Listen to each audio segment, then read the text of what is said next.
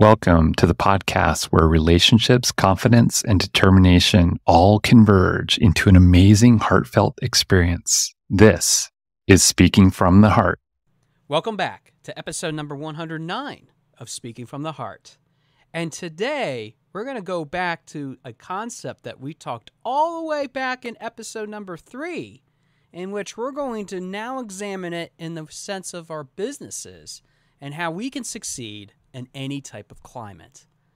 Now, before you even say anything about the fact that this episode seems to be a little caveat to the fact that we're going through quite a economic hardship all across the world, especially here in the United States when it comes to even struggling to survive, whether it's for your business or individually, I want you to understand that it's not just about what the short term is, it's about the long term.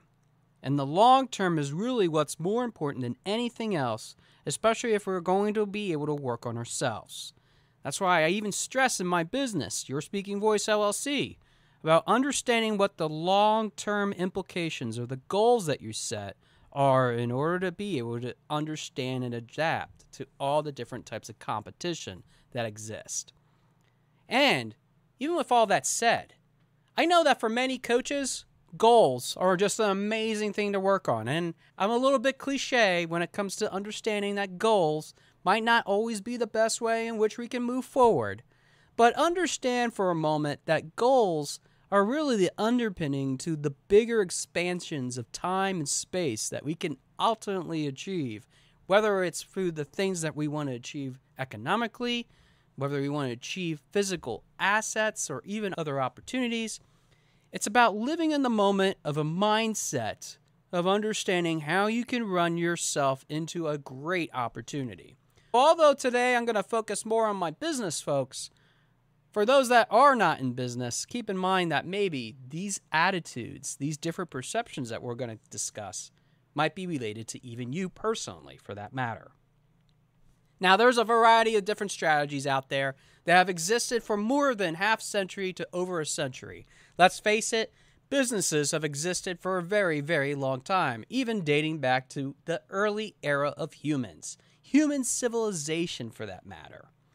And even when we think about the fact that we have to be able to overcome some of the struggles that we're existing right now, whether we're trying to feed ourselves, whether we're trying to clothe ourselves, whatever that circumstance is, we are ultimately looking at the fact that we need to have these gains in order to keep evolving.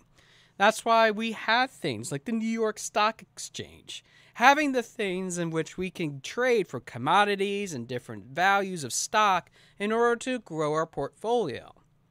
If you think about it, we each have our own portfolio of different types of growth that we want to have. Whether we want to work on a new skill, a new ability, or have the thirst for knowledge of learning from something in the past, present, or even future. Having the things that we have available to us in our portfolio allow us to succeed in the long run. We often look at this in the business world as our business plan. Where are we going to segment our business in order for us to grow and what backs us up? What really makes us qualified to do it? But more importantly, how are we going to continue to be qualified to be able to help others? It's really about not only the short term goals that we're trying to achieve, but it's about how we can plan for the future. What is our long term strategy in order to achieve what we ultimately are setting out for? That's why the mission, or even the vision, or even the values of our businesses make such a big difference. A lot of times, even for businesses for that matter, having the right strategy in which you're communicating those to your stakeholders or even the people of interest that want to be part of your business oftentimes means examining what is truly important for you to grow, to be able to understand that maybe those things that you're doing today aren't necessarily going to work in the future. So when we look at what we have to do, we also have to look at what that means when we do those chess pieces on the chess board. Now, a couple things to think about when you're strategizing. A coach can always make such a big difference in doing that. And I will always, always, always recommend that if you have a certain stage of your business that you're working at, whether you're a small business turning into a medium sized business, or even a medium sized business turning into a large business, or a large business becoming an enterprise, regardless of what it is, get the right person that will help you align with your values. And when I say person in this context, I don't necessarily mean hiring the one individual that will help you take it there. It could be a number of different people. It could be even a huge entity of itself, working across all kinds of different spectrums accounting, legal, procurement, wherever those sections are that will allow you to be able to run your business into that new frontier even when you have all those aspects considered. The universal thing that you have to think about is all these different ideologies that we all have that we need to embrace. Change can be difficult. What was a very small business now turning into something that you did not see before can be very depressing. It might not have been what you exactly wanted. And yet, trying to be able to engage and create that value for everybody else means that you have to examine a little bit more of what's involved with not only understanding what's important for those people that are working with you to be aligned with, but also understanding that the strategies that they are employing also have to align with what you expect. So, having the right expectation model will allow you to be able to grow into those new heights. And that is something that is really important, and most people don't understand. They feel that they take the advice of somebody that is helping you, but yet you're thinking that maybe this isn't exactly the way to go. And before it's too late, you could say something, but you don't. Therefore, you're walking yourself into a disaster. And trust me, have I only seen so many disasters when I've been working not only for government, but also have seen personally with many of my friends and family that have engaged themselves into this communication plateau they are not working on not only understanding what they're getting themselves into, but also asking the right questions. And you have to ask the right questions if you're ever going to be able to achieve success. So, first strategy work on somebody or a group of people that will help you get to where you need to be. The other thing that you have to think about when it comes to even understanding how to run your business is to know what you're doing now and whether you're really good at it or not. In other words, was your branding on par? And it's so sad sometimes that I see businesses open, they have no image or no soul for that matter, and it's only a matter of time in which they close up. Some of the most successful businesses that have even been challenged by the COVID 19 pandemic and been able to make it to the other side have not only understood what their brand destination is, but they've also been able to create that value within their clients, within the customers that they serve, all kinds of different segments of the population in order for them to have that consistency, to have brand loyalty, which is usually the ultimate goal of being able to do anything that you want to set out to achieve. Having that goal, having that opportunity in mind allows us to grow into a variety of different areas. And even one of my clients right now is exploring that opportunity of a lifetime. Being able to share not only the things that they're doing really good with right now, but experimenting in some other areas that will allow them to expand beyond what they ultimately never thought possible. But when you think about this universal concept of understanding what things are, going back to our last conversation piece, it's about understanding how you can use that to your advantage.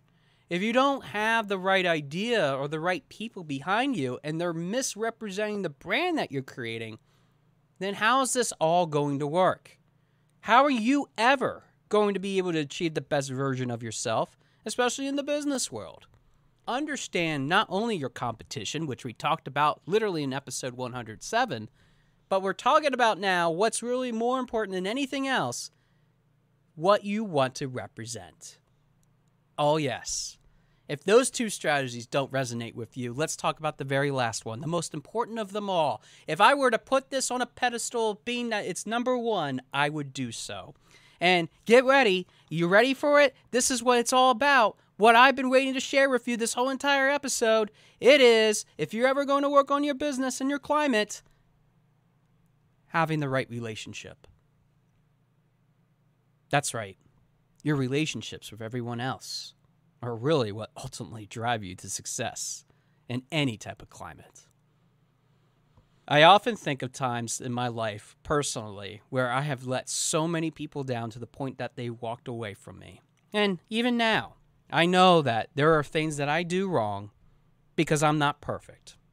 And I don't ever claim to be perfect, nor if the day that I do become perfect, even in episode 502, I hope that I am corrected because I am not that perfect person. And I hope that episode 109 will be shown to me again because maybe I will long forget that I recorded this.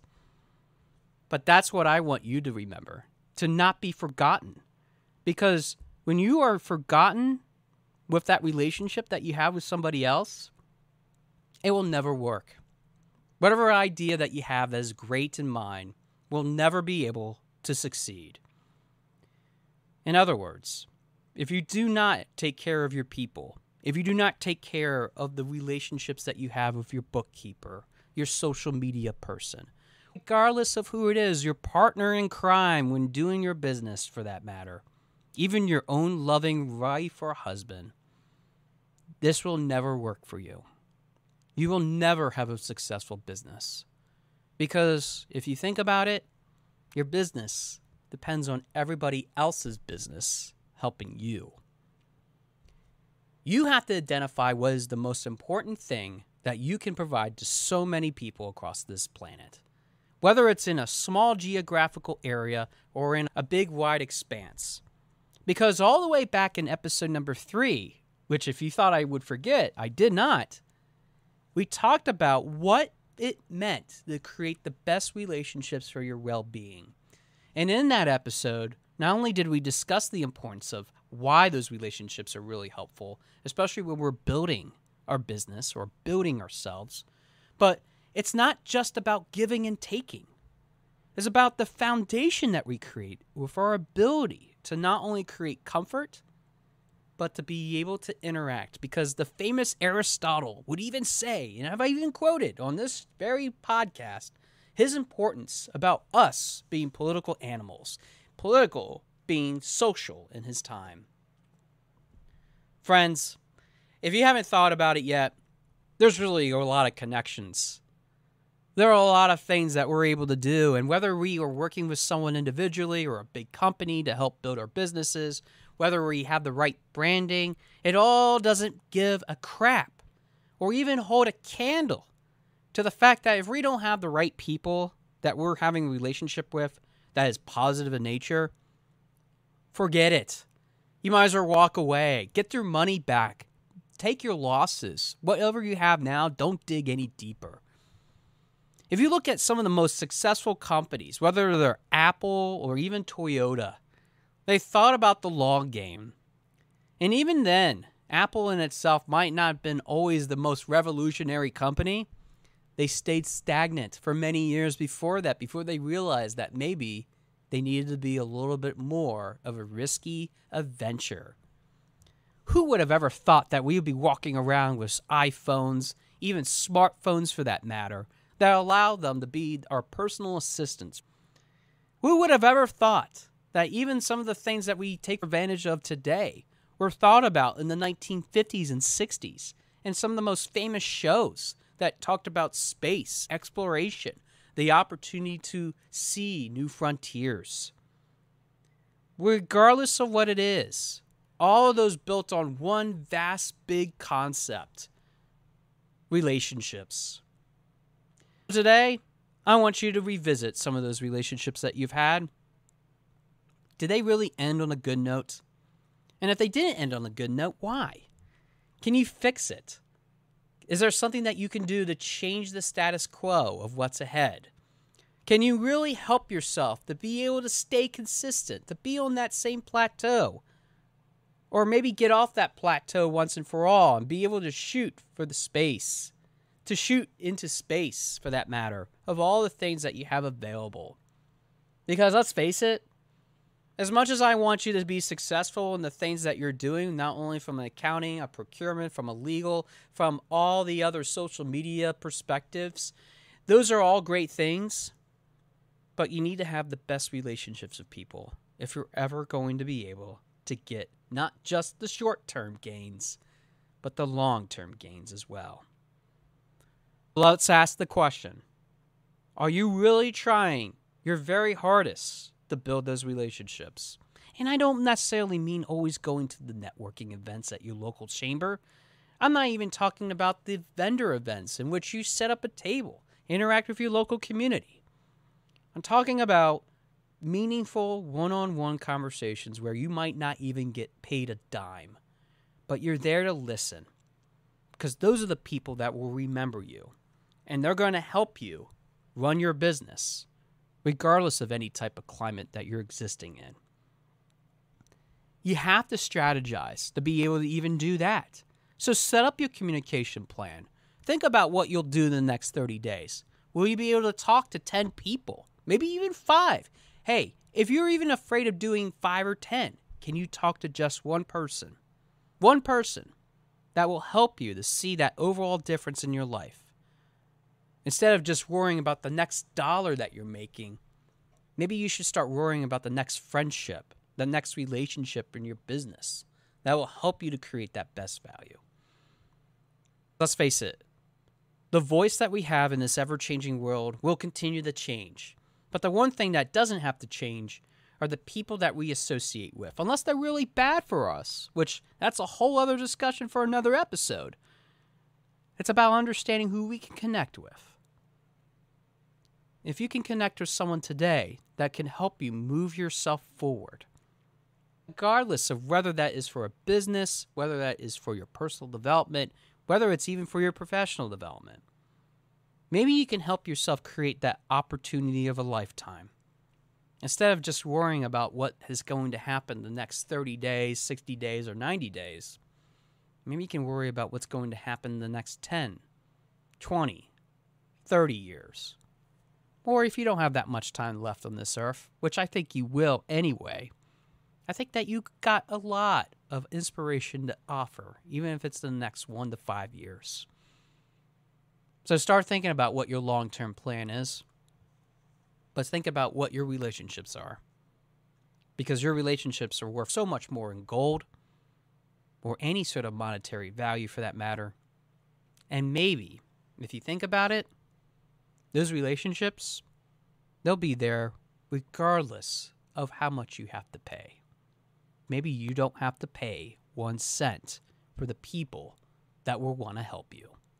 And that can be the most rewarding thing in any type of climate. Thanks for listening to episode number 109 of Speaking from the Heart, and I look forward to hearing from your heart very soon. Thanks for listening. For more information about our podcast and future shows, search for Speaking from the Heart to subscribe and be notified wherever you listen to your podcasts. Visit us at www.yourspeakingvoice.biz for more information about potential services that can help you create the best version of yourself. See you next time.